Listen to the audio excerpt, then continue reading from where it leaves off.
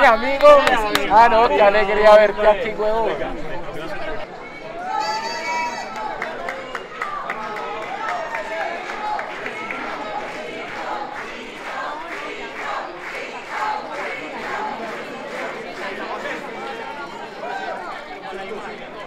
El país ya habló, ha hablado el país.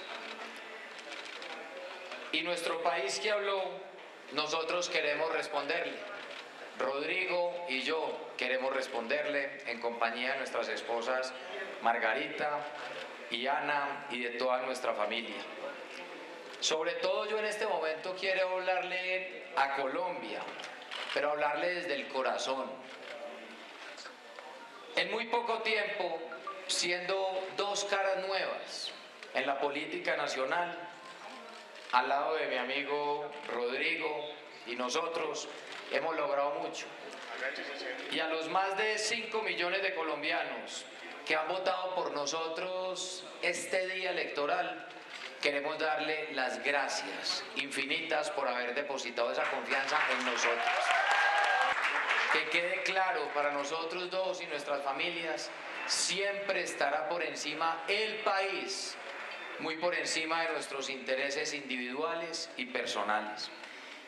Y hoy los colombianos tienen dos alternativas en esta contienda electoral que se aproxima ya para el 19 de julio.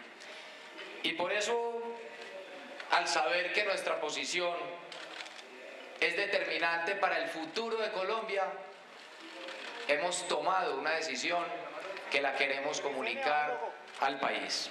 Y quiero expresar públicamente que nosotros no queremos perder el país y que no vamos a poner en riesgo el futuro de Colombia, de nuestras familias y de nuestros hijos. Y por eso, Rodrigo y yo votaremos por Rodolfo y por Marilén el próximo 19 de junio. Nosotros no somos ni jamás seremos indiferentes al futuro del país y queremos lo mejor para Colombia. Y por eso estábamos en la contienda electoral buscando unir a Colombia y buscando lo mejor para nuestras familias.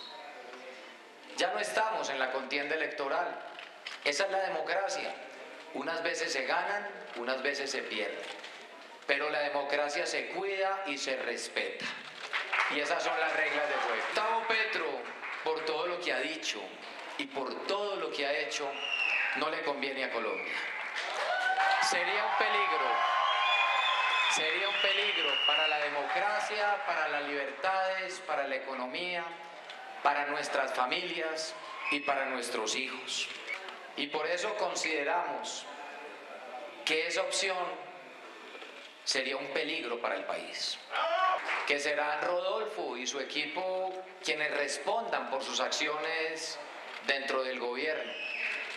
Y además dejamos muy claro que ni Rodrigo ni yo haremos parte de su gobierno ni buscaremos hacerlo.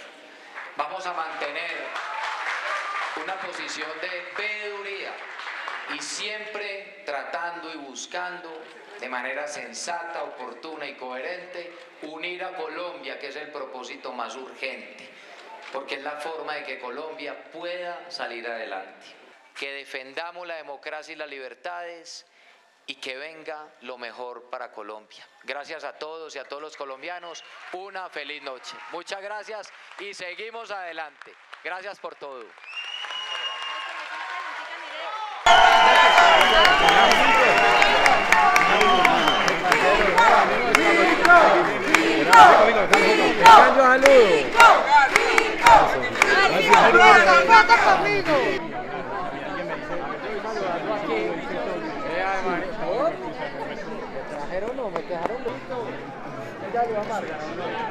A la jefa. Mira, están dejado por nosotros.